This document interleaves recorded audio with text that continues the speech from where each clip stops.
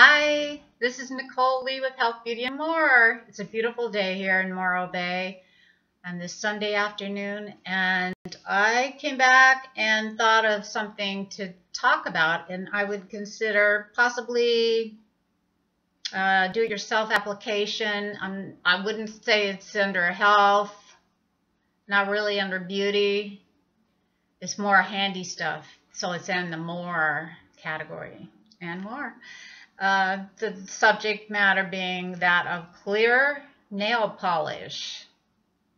You can buy that almost every store, especially drugstores, all sizes. Some call it top coat, wild shine, protective coating. And this one's in oil, so that that's not that's out. But the rest of these other two fall into that category. Anyway, uh, clear nail polish has a lot of uses. They're usually temporary fixes though. So I don't want you to think these are permanent, uh, but I'll go through a list of some of the things you can do that make it nice and handy to repair things around the house. Um, if you have pearl buttons, for example, Protect them with coating them with the clear nail polish. Number two, um, next on the list is when you go to sew and you use the thread, and you know how the, the thread is very difficult to get through the eye of the needle, try dipping it in the clear nail polish. First let it dry, then it's nice and stiff, and that'll work. Um, I have done this with, other than nail polish, I've used just white glue as well, and it works the same way when you're doing projects and you're using yarn or something that you need to go through the eye of a, a needle. It could be a plastic needle, could depending on the project. But anyway, that's what I would do. Um, it also is great for preventing frayed fabric from coming unraveling. Fabric, also under that category, I would put ribbons in that category to keep the uh, ends from fraying. Um, for years and years, it's been known that you, if you're wearing hosiery, you can stop the run with nail polish, clear nail polish. We've known that since the, I don't know, I, I knew it since I was about 12. So I guess it's been around, that's been around for a long time. So other than doing your nails, uh, there's a lot of uses we're finding for nail polish clear nail polish too. Um, mending a broken fingernail too. Uh, it's always temporary, but it, it is like a little bit of an adhesion, so it just helps it so it doesn't break all the way. Um, windshield cracks. If you're going to do that, you want to park your car in the shade. Do both sides of the glass. I do a couple of coats at least. And then to let it dry, move it out into the sun. Or you could take a hair dryer if you didn't, if it wasn't sunny enough to dry it really good. Uh, give it time till until you do a permanent replacement of the crack in your windshield. You can also fill in little nicks on uh, floors and glass, like wooden floors, for example. You can do that with the nail, clear nail polish to keep it from um, splintering more and you know the gouging bigger. So try that if you have wooden floors or glass that has uh, chips in it like glass for example that you might put in a, a, a photo frame it'll soften it so you won't cut yourself too uh, it's best to sand it if you're going to do the wooden floor to sand that area after you apply the dried um, glue with 600 grit sandpaper. Just lightly.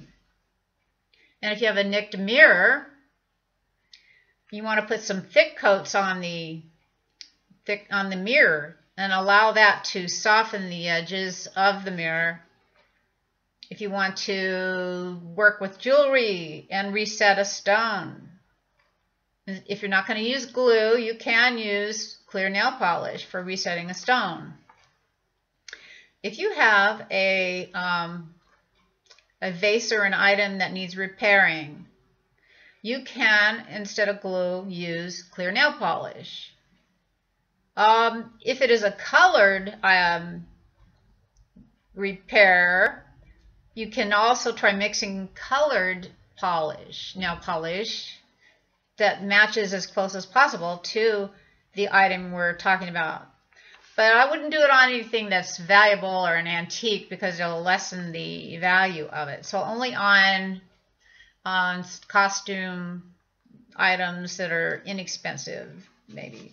Um, if you have a cooler and you want to plug a hole in it and it's got ice in it and you're out camping, let's say there's a little teeny hole and then you're going to lose your ice, try a couple of coats of the nail polish in the on the cooler before you put the ice in there and see if that holds the ice at least temporarily, that should work while you're on your vacation. Um, now, when you have chipped paint on your automobile and you want to keep it from rusting, you can use a little clear nail polish. That's not a permanent fix. It's a quick fix. But at least it will prevent it from rusting for a while. It also is great to use on wooden hangers. If there's any sharp edges on them, that'll help soften them. Anything wooden, sticks, dowels that has sharp edges and you want to soften, the clear nail polish will help with that. And then for screws, metal screws, you can apply the nail polish, the clear nail polish on the wooden, the uh, metal screws allowed to dry, in, you know, and it'll help keep things in place better.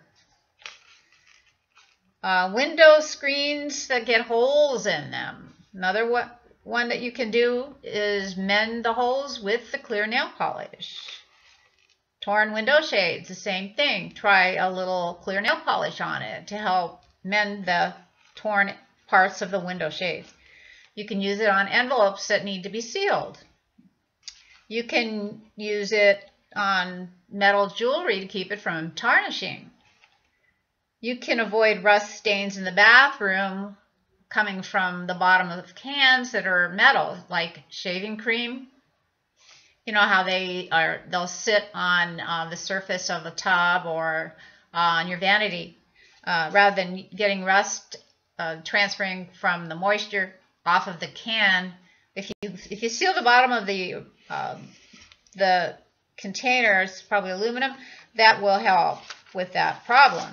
Um, and then labels, it'll it'll help keep them from getting moisture in there. But I like to use clear tape when I'm putting labels on things. I just take clear tape and and I don't do the the nail polish deal. Uh, if you're in camping again and you have matches and you don't want moisture to get on them, you want them to work, you can keep moisture out by applying some clear nail polish on the um, tips of the matches. And um, furniture, any splinters, try the clear nail polish to put a coat of that on there and that will keep keep it from splintering further. One last thing I want to talk about is it is known that to help when you get a, a bug bite and it itches, to put a little clear nail polish on that, as long as it's not an open wound. And that's what I had to share today, and I hope you got something out of it. And this is Nicole Lee with Health, Beauty, and More. And this is a more area, clear nail polish. And if you happen to need to sand anything like wooden and you don't have sandpaper, always have your emery board with you. And subscribe. Thank you.